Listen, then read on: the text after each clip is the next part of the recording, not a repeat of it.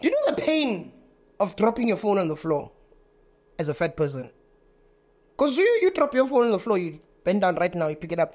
Fat people, if you ever see a fat person dropping their phone on the floor in the mall, just take some time to look at them wow. and and try to investigate the internal embarrassment that, that they're going through. Inside, because you know, to pick up that phone now, now you must have a conversation with yourself. For this phone, do I really, really?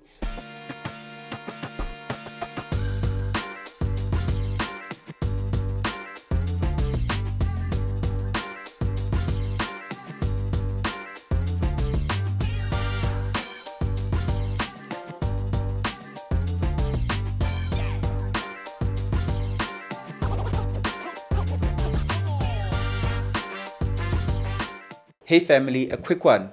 Over 87% of you are consuming this content every single week but are not subscribed. That means you are enjoying the growth conversations, but you are not liking, you are not subscribing, and you are not sharing it with others. So please, I plead with you, please subscribe so that you can share the love, you can share the growth, and you can share this wonderful platform and wonderful safe space with others as well. Enjoy the episode. Sure, my brother. Are you good? The best. How are you? I'm fantastic, man. Best. Um, one of the things that I love um, starting the show with is in order to understand why a person does what they do, I, I, I like to interrogate why what is your why? Um, why do you think you are who you are and have chosen the path that you've chosen? There has to be a holistic reason that has made you choose Uguti. This is Also my deep why. When- Yeah, Ibo? No, when you're deep, you are tip. you are deep. Let's go tip. Why? Um, why? Ooh, why? Why? Why make people laugh? Sure. Because I, I'm great at it. Mm, mm, mm, I'm, I'm, I'm amazing at making people laugh, and I think, apart from being amazing, I'm I'm grateful that I can do it. Okay. So my why has to do with a lot of gratitude, because even at times when you don't want to do it, you always remind yourself that you could have not have the ability that you do have to do it. So go do it. does the gratitude come from a place of Uguti, I've got a talent that was given unto me, and it's not something that is given to many people. Very and few. Very few have that talent, right? Yeah. And I'm able to exploit it to a level that one, it makes people, other people happy, and two, it gives me a sustainable living. Eh, not sustainable. You're talking about money. Yeah. Yeah, a lot of money. We see the new cars. so yes, it, it it has to do with that. It's it's it's the happiness behind it, and it's the sustainability behind it, uh, but also it's the gratitude behind it. Always knowing that I'm blessed to to be able to do this. I could have I could have been doing anything else. I could have been having a full time job, uh, being irritated by a manager all the time. Was looking for things that I don't want to provide. yeah, yeah, yeah. I'm able to do things in my own way and how I like it. Many people, though, other comedians have gone onto platforms and spoken about how uh, making other people happy masks their own unhappiness. Um, do you think there's an overwhelming unhappiness within the comedians industry? Maybe not per se for yourself. Oh yes, to be a comedian, you have to have depression. Wow. it's one of the main things. Yeah. If you're gonna be funny, you have to have some level of depression inside of you. You can't just be happy and then be, be funny. It's But how do the two worlds meet? Because depression, depression is the complete opposite of being happy. How, how do you source happiness when you yourself don't believe you are in a good place? I, I don't know. It's how it is. Um, what was that guy's name? Robin Williams had Yeah. statements about how the most happy people are usually the most unhappiest in their own corners, and I think that's what it has. It has to do with the fact that you do not want the next person to feel what you're feeling. Okay. And because you have this gift and this talent to be able to make them laugh, mm-hmm. you try your best to do that, even though you might be going through your own thing. And that is why, even if you listen to the funniest jokes in the world, you can hear that these jokes could come from a place of hurt. Mm-hmm. If you take the funniest jokes that you've ever heard and, and, and, and listen to them without laughing or give them to a boring person and tell a boring person, please say what this person has said, word for word, mm-hmm. and you listen to it, it's probably one of the most heartbreaking things you can ever, ever listen to. But the comedian has the ability to put in a, a satire, funny element to that heartbreaking A comedian story. has the ability to turn it around. yeah, yeah, yeah. comedian, I think any comedian has the has this gift of being able to be in a sad situation and see something funny and be like, "That is that." I know we're sad, but that right there is funny. Is it healthy though to operate from a place of depression and not address the depression while remaining funny? Look, I, I think everybody has a duty to address their own depression. I'm not saying that they are depressed or whatever. I'm saying that they have had to have had it somewhere, Okay, somewhere, okay, somehow. Maybe okay. they have healed or, Yeah, or maybe yeah. whatever. But, But at some somewhere in the point- journey. at some point, Yeah. it, it was just there. Yeah. Even the art itself is depressing in itself because you can go on a dry spell. You can, you can be performing for about three weeks and nobody laughs in the three weeks. Do you know how depressing that is? Com- comedy, comedy is a is an instant thing. It's Is it a, is it a thing where if nobody instant. laughs, it, it hurts? big time, big time. This is like imagine if Young Stunna had to release an album today. Yeah. He would only be sad after two months when he goes on to reports to see That only five people Yeah, listened. you understand? Yeah, yeah. Only then it would hit him that Sure. maybe I suck. But as a comedian now eh. on stage, on stage, Usati, why does the chicken cross the road? And then, and you're like, hey, maybe I suck. It's, it's now. You're dealing with the now thing. I hear a- you. You- You deal with the rejection immediately, It's not a later thing. and then two seconds later, you have to move on. and and sometimes it's difficult to move on. Yeah. It's just one of those nights where Yeah. nobody's laughing. Now you must deal with this thing from when you're done performing until you can perform again. And what happens when you perform again and they still don't laugh? And now it's been three weeks, as you're saying. Now it's been three weeks and people haven't been laughing, but you can't give up because you believe that there's something funny in there. But every night when you're driving home, you're thinking about, yo, what can I add to my CV to make it uh, Mm, look? Maybe I should add computer literacy. you know, but that's and that's the thing about uh, comedy and how it can instantly break you down. Sure. it's it's it's a very it's a very humble art. That's why it's very few comedians can come and say, "I'm the best comedian, I'm the funniest comedian, I'm the most successful comedian," because it's it, it's a very humble art because it will deal with you now. Mm-hmm. You can come on a podcast and say, "I'm one of the funniest comedians in the country," and then next week perform at Emperors Palace in Yeah. three thousand people and bomb. yeah, yeah, And then yeah. people are on go back to that podcast and be like, "Ah, yeah, I watched this guy last week. Guy, don't listen to him." Yeah, yeah, It's cap. yeah. It's all cap. It's There's all not, cap, yeah. Ah, there's nothing funny, and then people can support him. Be like, ah, I watched him too. Ah, yeah. I was Like, there at that show. and that is why He played us. Ah, that one, that one fooled us at the podcast. He was just talking because there was nobody there Yeah. who could pigisa him. But we've seen him. Yeah. There's nothing to him. He should go find a full time job. Does the art often feel like a burden then? No, not often. No. You you somehow you you somehow pass that threshold of of letting it depress you, because you, you get to a point where you do understand that I will bomb. Uh, I won't always be funny. I will try to always be funny. I will work hard to always be funny. But at some point, I will bomb. And when I bomb, I didn't bomb because I'm not funny. I'm bombed because it was one of those nights. I bombed because maybe I was trying something new out, and I didn't write it as well as I thought. But I have an opportunity to go home and write better and and and do better when I come back. You're saying writing something new. So are you telling me that at diff- like when you go to different gigs, there's like this little box that you have and you repeat jokes all the time? Is that what comedians do? Yeah, it's, uh, it's our jokes. Okay. It's our it's your jokes. intellectual property. First of all, that's what you, people must understand. Because there's this whole big notion, especially in South Africa, of hey, this one is repeating. Yo, we've been, yo, we've been hearing his joke. Yo, we've been hearing his joke about him being fat. We are tired. But what they don't understand is, in as much as you are trying to be tired, one, it is my joke, and two, in the bigger scheme of things, you hearing me, you you, you are only maybe one percent of the population that I'm trying to target I hear you. because you've heard me in an audience of say a thousand people, and even though Absolutely. it's a big show. Less than a thousand. That less than a percent even. That You thousand. understand? You try to target the world. I'm trying to target the world, and, Yeah. and this is the joke that is going to get me to the world. And yes, you might be angry that I'm hearing it for the third time, but understand it's my joke, and I It's your hit to- single. It's my hit single. I'm Yeah. going to perform it, and I'm going to one day record it, and hopefully it's going to go on Netflix, where the entire world can watch. Absolutely. And even after Netflix, if I'm still feeling like I want to tell this joke, I will tell this joke because it is mine. In an arena in Dubai. Ah, yeah. Mamela. Yeah. You know, Cassper Nyovest, till today. Yeah. I'm Shebeleza. dog, Absolutely. And nobody will complain. I get that, bro. I get that. It's his. And allow us, allow us as well. Yes, there is the pressure that we must write, and I will not dispute that.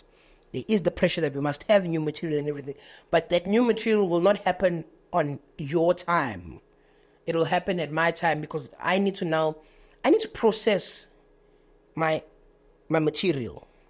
I need to be able to be like, okay, it's fine. I can let go and introduce this. I, I, I like that you say that because I had Big Star Johnson on that couch and he spoke about after he's taken he took a four to five year hiatus um, because he wasn't he was going through mental health issues and just his career wasn't where he wanted it to be. But he said even in that hiatus, fans still reach out and say, We want new music, we want new music, we want new music. So as you're saying, just juxtaposing it to what you're saying about the, the, the new material and the writing, is that you can't force a creative to keep on giving new things all the time. Yeah. Because if it, it, it stops being authentic, now it's writing for the sake of writing. Now it's writing under pressure, and when you write under pressure, you will you will lose the thing that you loved about that person. yeah, yeah. And then a year from now, you will say, I used to support this guy when he used to rap about loving his mother, but now because he raps about porn, I hate him. and you're the one who pushed him to rap about porn because when he wrote about his mother, it was an entire process. He had to go, first of all, he had to go into the hurt yeah. of his upbringing Tap into it. you know, tap into it and accept it. And then accept it and then write it. And then he wrote it in a heartbreaking form that he could not release. Then he had to find a way to turn this heartbreak into sort of a, a happy story. Then only he could go into studio and record. Now, we never asked this person, how long did that entire thing That process. take you? Yeah. But now you forced him, and because people they fold to fans, they fold to the audience. Now they'll be like, okay, cool, you want new music? I'll give you new music. What can I write? Have you ever folded to your fans? Ah, I don't fold. I don't fold to. I don't fold to fans. I don't fold to bullies. I don't fold to anyone.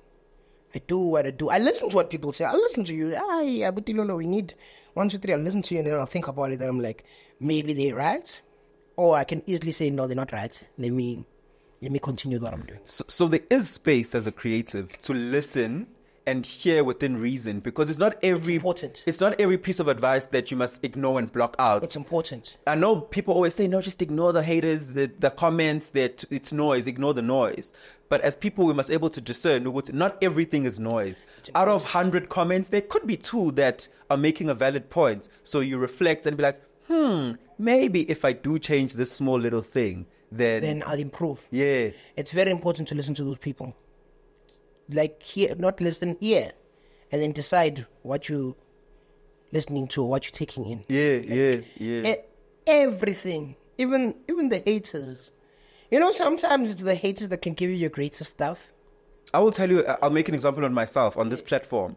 I had haters consistently every week, something I didn't realize because I'm not a, a sound engineer person. It's my team who does that. Yeah. And I had people whom I thought were haters who was telling me that the sound is bad, the sound is bad, the sound is bad. Sure. Because I was listening to the, the sound on a different device that is more powerful. But the, the people consuming it have various devices. And because I listened to that eventually, and I'm like, wait, the sound was bad. Yeah. You know, I mean, ah, my haters now. I must ignore them. You know what I always tell people? I always tell people that the the people who've given me my greatest jokes are those who thought they're insulting me the hardest. And they and those people come in hard, especially on your Facebook. Oh, those people come hard for. Oh, those people come hard for me. You can while I'm reading you, like, oh, this person really tapped into their witchcraft. deep, deep, deep. I'm like, ah, but this is a dope thing to say, even though it's rude.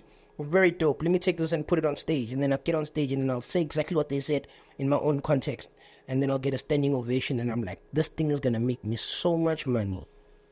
So I think, as an artist and as anybody who is servicing people, it's important that in as much as you think you know what you're doing, listen to them. Li- listen to them and hear what they have to say, and then it's up to you if you take it in or not.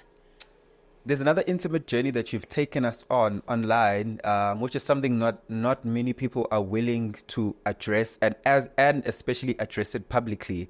Uh, you've taken us on this new health journey that you're on. Sure. Why is health so much of a priority to you right now? What what realization did you have? Um, I I had the realization that I'm struggling to perform on stage. So I I had a gig where I was No, I'm gonna tell you the truth. I got into a fight one night. Uh, we're coming from a gig and then some guys kicked our car. Some guys were just in the streets and just kicked our car. Then immediately I jumped out to go try and deal with them. And when I was fighting with them, I realized that I only have four punches in this fight. And that's when I realized that the enemy is not this guy that I'm fighting. The enemy is, Is myself. because if this guy doesn't fall in the next three punches, I'm the one who's going to faint because I'm not well. And then when I was driving, I couldn't speak to my uh, to my friend. Like for the entire 40 minutes drive, we didn't speak to each other. In the car, I was just. Mm. no, like, mm, ah, mm. yeah, yeah, yeah, this is not life. And then I realized that, I, you know what, I get tired too, too quickly and I need to improve my fitness because now this is not only about the fight itself, but it's just about not being able to do a normal thing like being on stage for 15 minutes without looking like I've been in the mines for eight hours. Jeez, only 15 minutes, bro, would, would exhaust you. Ah, you'd come, yo, you'd come out and now fans want to take pictures with you. You'd You're sweating, you're tired. You look like yo, you look like you've been in war. So that was what made me decide that I, I need to actually get fitter. And within within that, then I eventually decided that you know what, let me also try cut down some weight. Mm-hmm. I've never had issues with my weight. I've never I've never had a problem with being fat. In fact, if you listen to me doing stand-up comedy, that is all I speak about. and I never, I never, I'd never ever had. Mm-hmm, It's actually giving you content. yes, a lot. I've never had a problem with it, but I did realize that I'm crossing a certain line that is not healthy for me to be crossing, and that's why I decided that you know, let me just try cut down whatever I can cut down, just so also be able to live longer, if possible. Mentally, what does it do for you though to realize that I've taken a step for my health? That does it make you feel better? Do you feel better right now? Yeah, you feel much better. Yeah. Oh, you, feel you feel much better. You know, being able to to put on a jean that hasn't been able to go in for maybe five years, mm.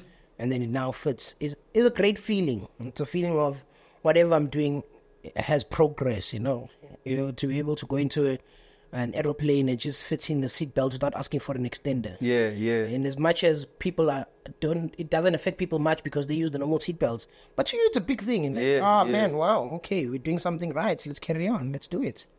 And also, I, I, I- actually see, I actually see that because when you're in a plane, like a person who's my size, you'll be sitting there, and then somebody's calling the the, the, the, the air host or the air hostess and asking for this extender, and it almost looks like the person is embarrassed to receive it. I've Yeah, noticed, yeah. like when the when the when the air hostess is carrying this extender, now everybody wants to see, yeah, pile extend. and then where's those uh, those air hostesses carry that thing with pride? Yes. Like, it's like the advertising where I'm about to go give someone pets and extend. You're correct, Kumanjalo. Now we're all looking at yeah, pile extender. yeah, like, yo, what's up? You know, the, the thing about also being big is you don't, the, when you can't do normal things, hmm. it's embarrassing. yeah. And even though nobody's looking, it's embarrassing. Do you know the pain of dropping your phone on the floor as a fat person? Because you, you drop your phone on the floor, you bend down right now, you pick it up. Fat people, if you ever see a fat person dropping their phone on the floor in the mall, just take some time to look at them wow. and, and try to investigate the internal embarrassment that, that they're going through. Inside, because yo, to pick up that phone now, now you must have a conversation with yourself. For this phone, do I really, really, really Do you need it?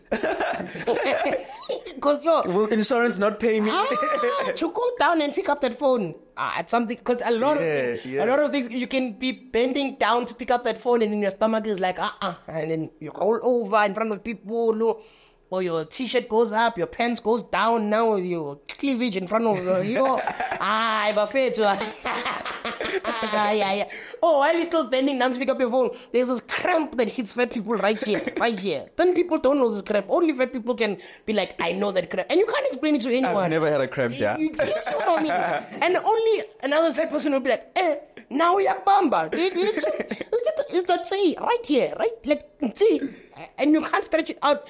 Now you bend down, you can't go back up. And then only another fat person will be like, no, breathe, breathe, breathe. And then another thin person will be like, why is this fat person telling this other fat person to breathe? Like, no, it's, it's a fat thing. You never understand. How much of it is vanity, though? I can say for myself, right? I'm, I'm, I've always been small, Yeah. but with age, um, I'm turning 30 this year. Sure. With age, I started realizing when my metabolism is slowing down. So if I continue eating a certain way, eh, I'm starting to not be chiseled in certain parts of my body. So out of vanity, I won't even lie, it was highly motivated by vanity more than health. I was like, nope. Minangizazi, I know myself as to be this perfect body person. Um, I want to stay perfect body. So I started taking health journey. On your side, has vanity influenced any way? You go to know I want to be smaller. No, No, ne? No, never. Cause like I said, I've I've always, as far as I can remember, I've always been big. I think I was maybe small when I was a baby, but then uh, I've always been a big person, and I've always been able to navigate my life as a big person. Okay, yeah, yeah. And I didn't mind it at all. In fact, when I when I talked to the whole team behind the weight loss journey, and they're like, "What is your weight goal?" Mm. I'm like, "Yo, guys, to be honest, I don't have.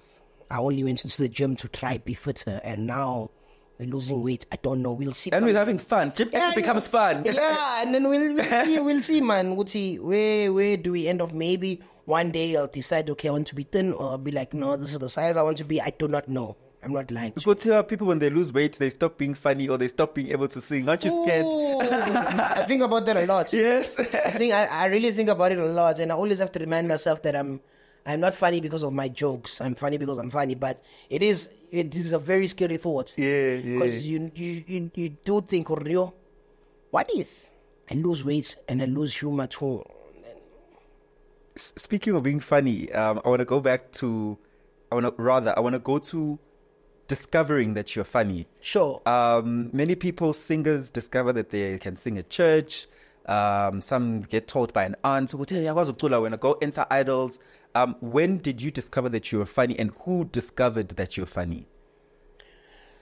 Okay, there's two parts to it. There's being funny and there's being stage funny. Okay, Being funny, I realized growing up that you've got humor. that I've got humor. Yeah. You know, you can see it when you, like, uh, just as a kid, you can see that, no, in the group, if somebody's going to make people laugh, it's going to be me. And I've always grew up with that.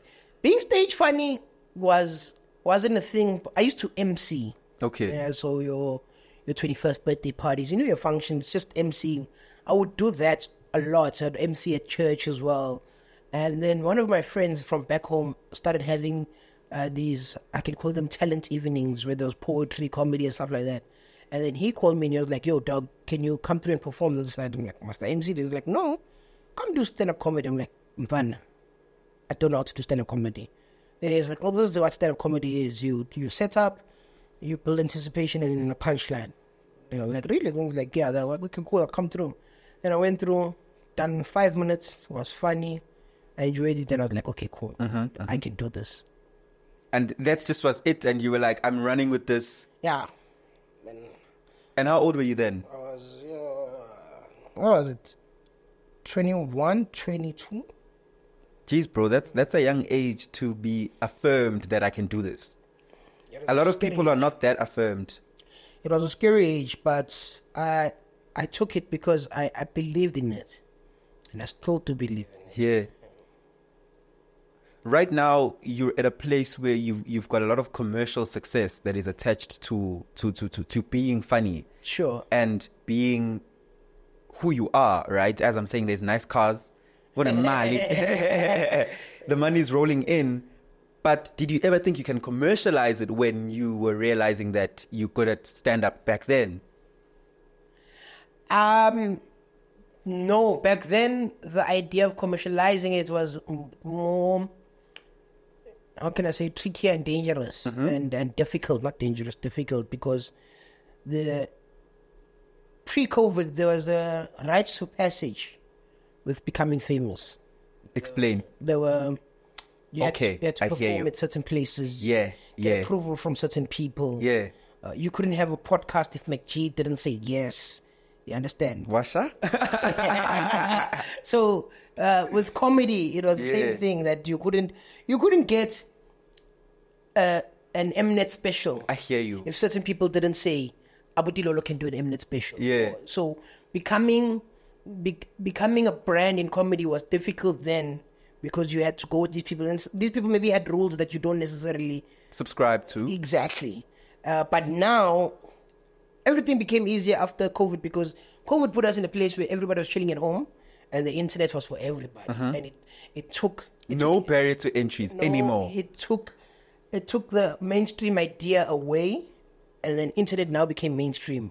And that is why now everybody can operate how they want to. Yes, yes. And that is why now anybody can become successful and you can't do anything about it. You chilling at home one day, you an MC thinking you're doing great and then jiggy jiggy now here's Komota. Hmm?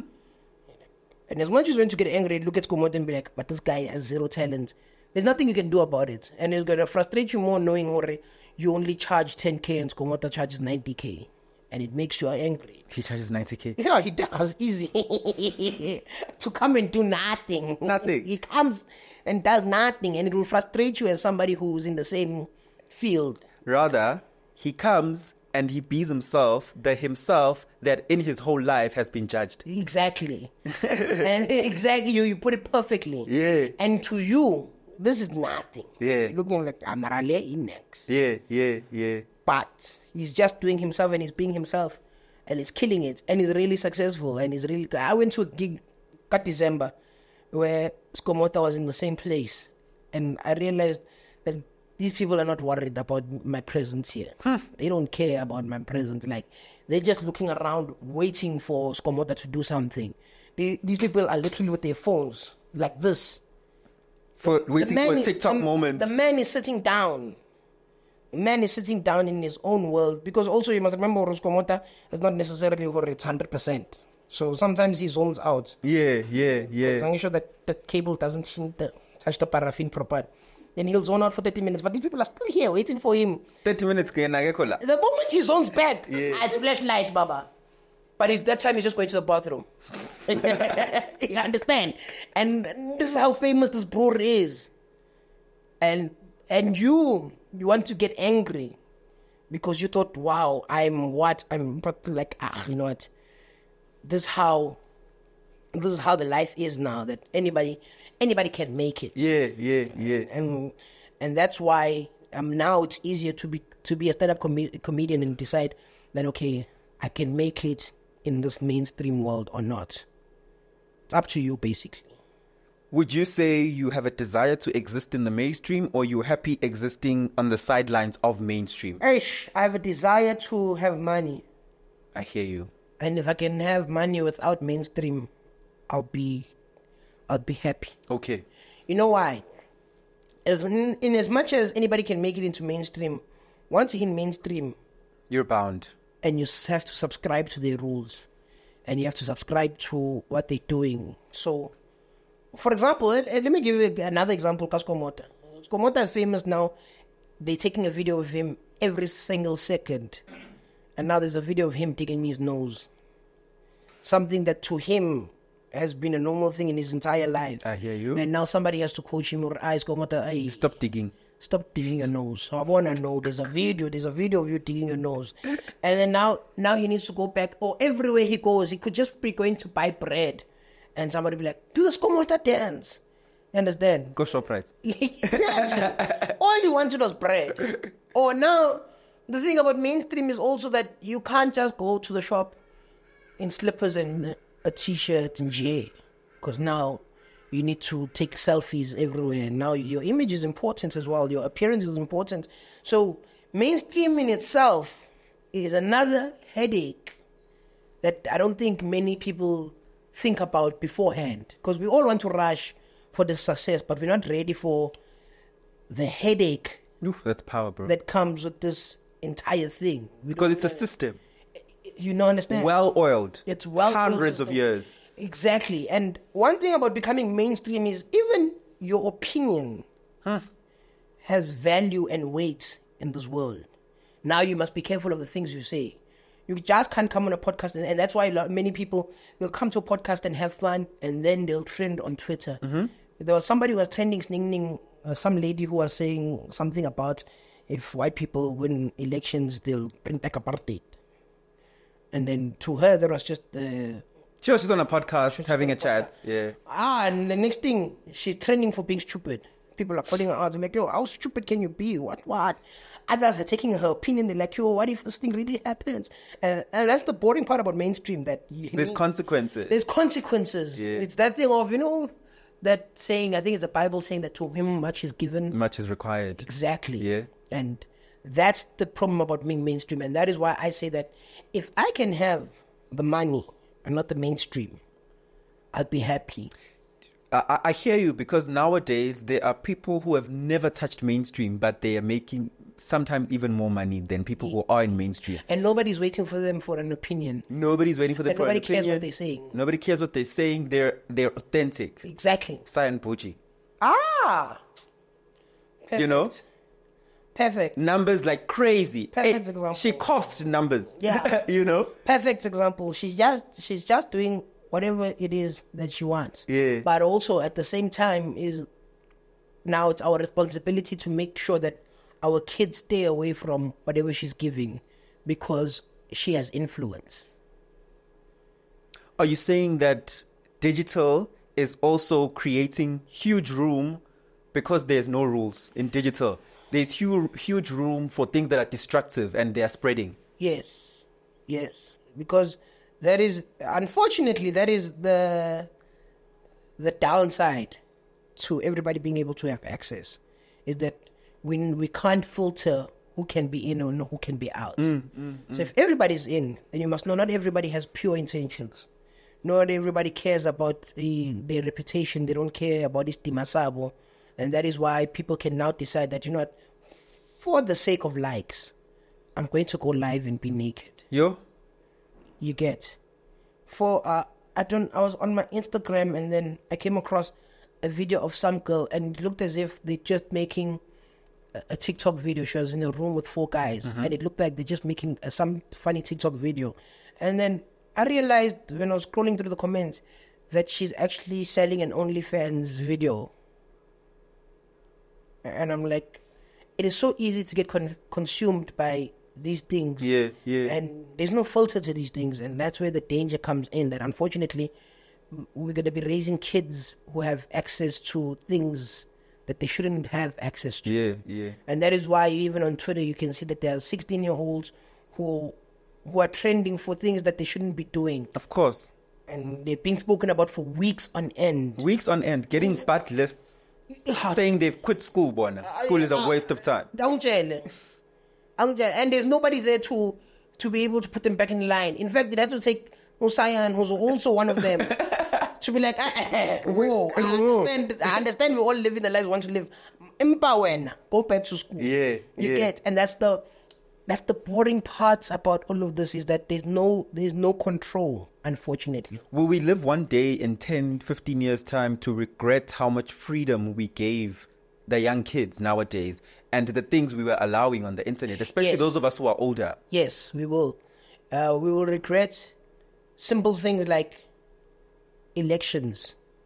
As young people, we don't put enough uh, importance on elections. Yes, yes. We will regret that we've given the power away. Yeah. And And our kids are dancing on the internet instead of voting. yeah, that nobody's registering to vote. Yeah. Nobody knows why they should register to vote. Those conversations are not taking place. You go right now on Twitter and be like, Have you registered to vote? You'll maybe get five people who comment. But go on Twitter right now and ask, What is your favorite sexual position? you, you understand? Now we're living in such a world where Or ask if uh if if you are if you if you have to fetch your girlfriend and your mother who sits in the front seat. Ah, Mamela, Mamela, do you want numbers? Do you want numbers? Ask those questions. Ask those questions, and then you will see the world that we live. I'm not saying that we need to be serious all the time, but we also need to be able to say, guys, there's a time for everything, and there's a time where we need to be serious because we don't see we don't we don't see the things that affect us. For example, why do young people need to vote?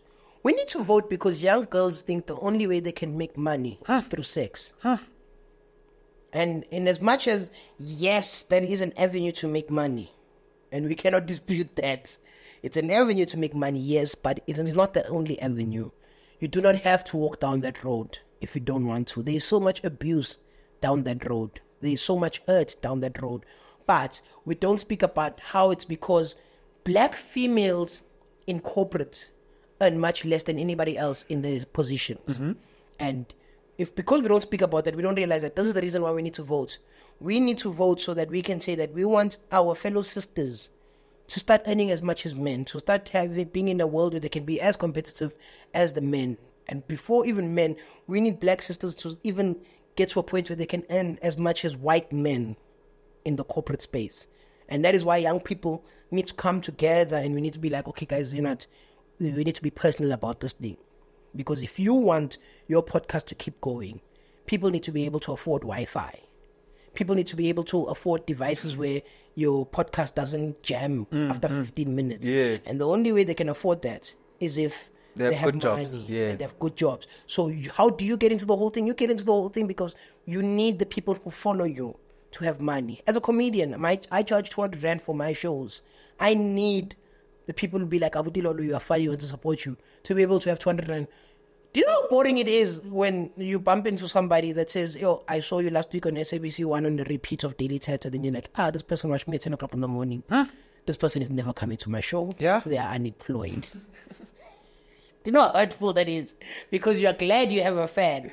But, But that's also, where it ends. You also appreciate that, hey, this fan Yeah. will never, can't currently afford my 200 rand. It's not a monetiz- a, a fan that can be monetized. monetized. yeah. Exactly. And uh, that is why, as young people, we are heading down a destructive path if we don't have such conversations of how do we come in and make sure that there's enough money to sustain these things that we're doing, that there's enough money to sustain podcasts, to sustain entertainment, to sustain uh, everything, basically. yeah. yeah.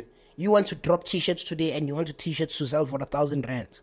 How do we build a world where people are no longer complaining worry It's a thousand. it's a thousand? yeah. How do we build such? We want to have events, we want to have festivals. How do we build a world where we say that our festivals general entry tickets are four hundred rand? And people won't complain because they can afford that 400 rand. Because people are complaining about prices not because they're complaining about prices, but because when you charge them 300 rand right now, that 300 rand is maybe 10% of the entire salary. Sure. And we're asking them to spend 20% on one day. Oh, it's hundred percent because it's the three fifty they get from government because they're unemployed. You get. Yeah. And then it's a, you've taken the entire salary for one for one Yeah. event. Yeah. So how do we as young people say that this is not the world we want to live in?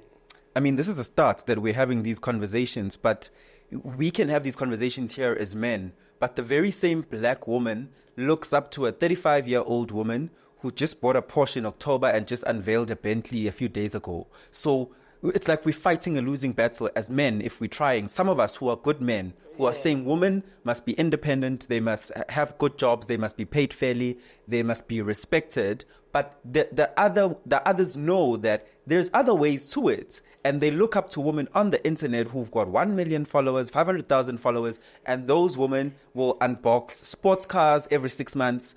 Uh, how are we are, are we fighting a, a battle that like what's re- going on? Also remember is that people are watching from a, pov- a poverty point of view. Uh-huh. So the reason why you you look up to somebody who's unwrapped a Bentley this week or a Porsche this week, you're looking at them from poverty, and many people are looking from you. I would really, really like that, and that is why my encouragement is that we, if we can change the dynamics where people start to work, then there'll be a paradigm shift in how we think and how we view things. Sure. There'll be many more people who will realize that I'm happier with my nine to five and this salary that I'm earning to be able to do the things that I want to do and live this happy life. Because then they'll also start, those people will then start to come out and expose the amount of abuse that they go through. I hear you because now they have their own. Yes. And also have conversations with these people who these slay queens. You unbox. Yeah, have have conversations with them and have honest conversations with them and tap into what did you have to go through. Yeah. and if they're real, they will tell you. Because you must understand that men with money, many of them who buy women are not necessarily nice men, and they're not necessarily gentlemen. And once that starts Correct. and once all of that starts to come out, more girls will see that, I this is not the life I want to live. If a man can be able to spit on me in the middle of the night, then I, I don't want that. So they'll also there also needs to start being the conversation of, ladies, how much abuse did you go through for this Porsche? How how much hurt did you go through for this weave, for this handbag? What did you have to do? How did you have to struggle? And once they start telling you how they have to struggle, and you can collect all that and show it to the other young girls, then they can decide, hey, do I really want this or not? Yeah, yeah, yeah. How do you deal with pain?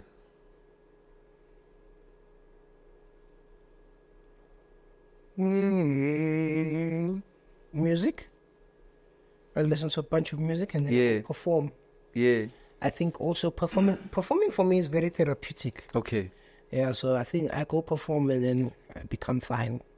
I don't have a set. I don't have this big thing of saying this is how I deal with pain. Yeah, Uh, yeah. I'm sorry, I can't help you out there. A lot of people pray, abanye bayaphahla, abanye have Oh, yes, certain person, a certain person that they speak to, perhaps good friends, a partner, um, and you're saying music fundamentally does that for you. Yeah, and performing. Yeah, yeah, yeah. What type of music? Well. Oh, Kokoti piano. some piano, yes. There's very there's very healing piano out there. piano is becoming madlozi. very spiritual. Um, yeah, some some piano, some some gospel, some jazz, whatever I can listen to that is soothing. I, I go for it. I go for it. Do you think you found someone in the industry? Uh, maybe you'll want to share their name or not, uh, or, or, but maybe you'll just want to describe what they've done for you. Because I find that a lot of people in this industry, uh, in Joburg, believe that there's a lot of fakeness. People who want to be attached to you because they want to gain from you or they want to suck you dry. Have you found somebody in the industry where you're like, yo, this is my boy, I can trust them? Yeah, my friends, um, Licheza, Ezra, Yeah. Skumba, do do me stop nonsense, pop pops, Titi Chumia. That's interesting because you speak about other comedians, which and people perceive um, you guys to be competition. Not really, hey. I think comedy is one of the most uh, united, united industries. Yeah. Yeah, we don't we don't have much beef. Yeah. We don't have we don't have a lot of drama. We have Twanes Mo.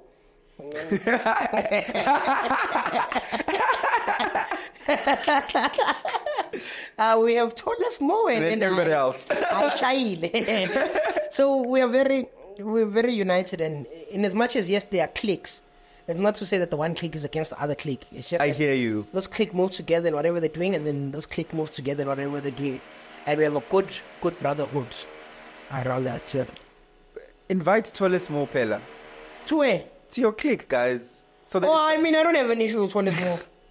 I mean, I don't have an issue. I, Mo is our brother. yeah. He's our brother. We love him dearly so. Abuti Lolo, ah, before we reach the end of our conversation, what are you working on currently? Currently, I'm working on shows. So I have a show called ah, Abuti Lolo I've Got Friends Too, mm-hmm. which happens in Secunda a lot. And then I'm taking it to Witbank, the Rage on the 1st of uh, June. And then I'm launching a comedy night here in Joburg as well at the Capital in Sandton called Laughs at the Capital. So I'll be having Yeah. comedy nights every uh, once a month. It's a premium stand-up comedy night. So it's going to feature some of the best comedians and just a great night of fun. Yeah. But then I will post all that on my social media as time passes.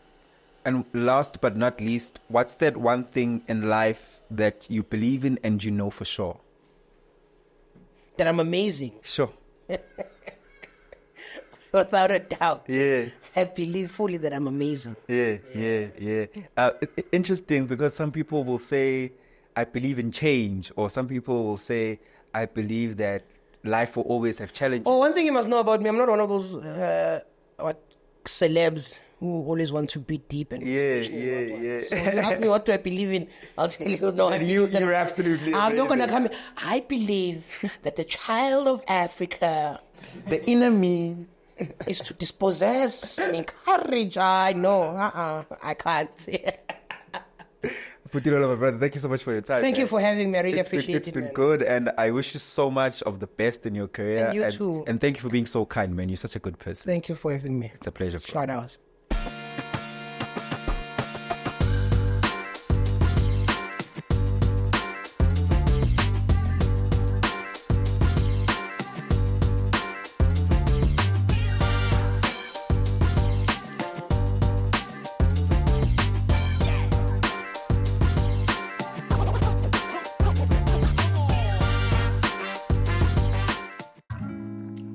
Introducing the epitome of luxury living.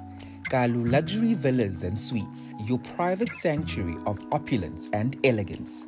Nestled amongst the lush sun-kissed landscapes of Durban, KwaZulu-Natal, this Kalu Luxury Villa is a paradise of tranquility, offering breathtaking panoramic views of the neighborhood. Step into a world of refined luxury where every detail has been meticulously crafted to create an atmosphere of sophistication and comfort. This villa is kept within a gated and secure property for your peace of mind. The Kalu Villa is available for both short term and long term stays, making it the ideal location for your next vacation or special event. This villa boasts spacious living areas and floor to ceiling windows that flood the interior with natural light, making you feel at one with the surrounding beauty paired with multiple terraces, an outdoor lounge, and a dining area. Live the dream, make memories, and indulge in the life you deserve. Contact us today to book your stay or to learn more about this exquisite property. Your oasis of opulence awaits.